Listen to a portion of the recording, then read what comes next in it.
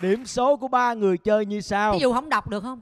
Gì? Thí dụ mình không đọc mình chỉ đọc người thắng thôi được không? À, thì thực ra thì cũng muốn như vậy lắm đỡ cho chúng ta cái chuyện mà ngại ngùng với nhau đó nhưng mà biết sao giờ thấy không kết thúc 3 phần mà đặt cược đấu trí cân não với nhau thì các tường còn lại 20 điểm Vẫn có điểm 20 điểm danh dự Dạ quý ngài rực rỡ thanh bạch của chúng ta được không điểm Chữ hông kỳ quá nói lại chữ hông coi không điểm tại mình nói vậy thôi cho người ta đỡ đau á Ờ.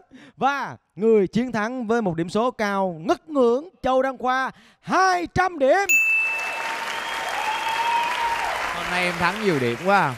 Em thấy vui quá nên em sẽ có thể em sẽ chia sẻ bớt cho những người mà họ không có may mắn bằng mình. Trong chương trình của mình có một bé rất là dễ thương đó là bé làm tóc mà lại ờ, Dạ, người gì rồi. đó. Và em biết là bạn còn khá là trẻ 18 tuổi Em không có biết làm gì hết. Em không có gì trong tay Em bước ra đường của một mình Nhưng mà em có gia đình phía sau. Không có ba mẹ. Còn bạn không có vậy nên là em à, sẽ dành hết giải thưởng của mình cho bạn. Trời ơi, tuyệt vời. Vậy thì bây giờ xin mời ba thí sinh của ngày hôm nay. Tiến lên sân khấu nào.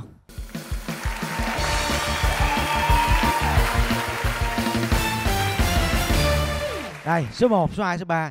Trời, mặt tươi ra rói, tươi còn hơn hồi nãy luôn. Tiền tươi chứ dễ thương quá đi Em muốn nói gì với anh Khoa không? Em cảm ơn anh Châu Đăng Khoa rất nhiều ạ Tại vì em cũng thích anh từ rất là lâu rồi Em xem nhạc của anh cũng rất là nhiều Nhưng mà hôm nay anh tạo điều kiện cho em thích anh hơn nữa Chắc từ Dạ. này em sẽ luôn theo dõi sản phẩm của Bây anh giờ mà. là em thấy anh không chỉ đẹp trai mà còn tốt bụng nữa đúng không? Dạ đúng rồi Dạ. Ok Độ. Em thật thà lắm anh tin em nha Em chúc anh Châu Đăng Khoa luôn thành công trong sự nghiệp, cuộc sống và những thứ sau này nữa. Cảm ơn. Anh cũng xin chúc cho em sẽ luôn giữ được cái niềm say mê của mình Sẽ luôn thăng hoa và say mê Và quyết tâm hết sức nha.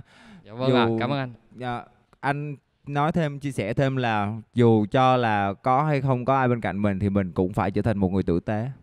Dạ vâng ạ, cảm ơn anh rất nhiều. Cảm ơn Châu Đăng Khoa rất nhiều.